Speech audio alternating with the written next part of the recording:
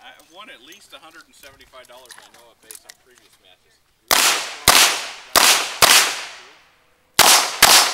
Probably not, but